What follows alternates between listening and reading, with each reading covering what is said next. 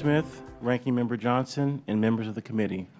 Thank you for today's invitation to talk about the Committee on Science, Technology, Engineering, and Mathematics Education and NASA's involvement in coordinating our STEM education assets with the broader STEM framework. When Congress formed NASA in 1958, it was with a bold goal. Your predecessors charged us to reach for new heights and reveal the unknown so that all we discover and all that we learn will benefit all humankind. This is what inspires us to come to work every single day. For me specifically, I know that the discoveries we make and the things that we learn are directly tied to the quality and quantity of future scientists, technologists, engineers, and mathematicians that are available and inspired to join us in our mission. To that end, NASA Education's vision is to advance high-quality STEM education using NASA's unique capabilities. NASA's education programs are deliberate in developing and executing strategic partnerships with governmental, academic, industrial, entrepreneurial, and international communities to ensure NASA's education mission and vision, vision are properly addressed. I am the co-chair of the Federal Coordination in STEM Education Task Force, which helped guide the development of the Administration's five-year strategic plan for STEM education. I am also NASA's representative on the COSTEM. My staff has served in leadership roles on the Fast Track Inventory, Evaluation, and Cross-Agency Priority Goal Subcommittees and working groups.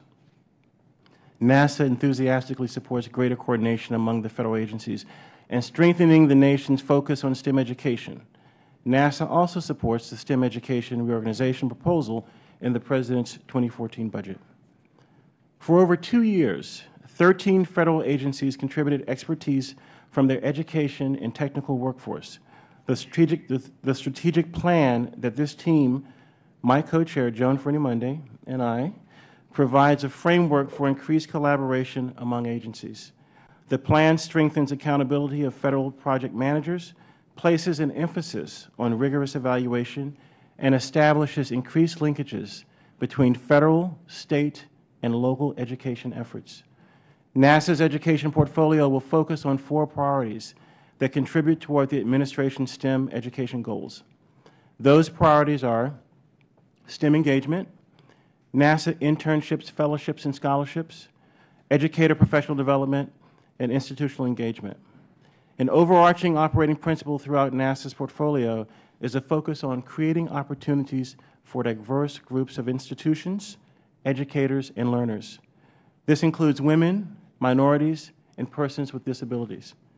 NASA will consolidate the education functions, assets, and efforts of the mission directorates, offices, and field centers into a single STEM education and accountability project managed by my office. As part of NASA's STEM interagency coordination effort, our available assets will support STEM activities that will be directed by the NSF, the Smithsonian Institution, and the Department of Education. This includes the infrastructure that supports the rigorous collection, evaluation, and dissemination of evidence of NASA's contributions to the Administration's goals.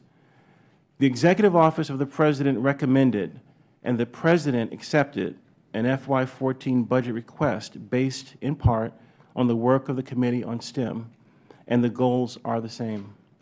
Representatives from the 13 Federal agencies will continue to meet to ensure the Federal assets are coordinated and put to use in support of the nation's educators and learners.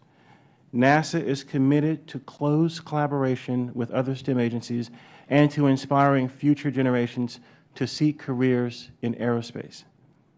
NASA has the ability to engage, educate, and prepare a future generation of explorers for employment in the aerospace fields.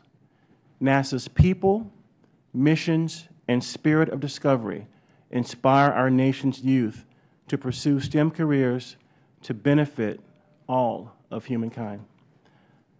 Thank you for letting me testify, and I'm happy to take any questions you may have.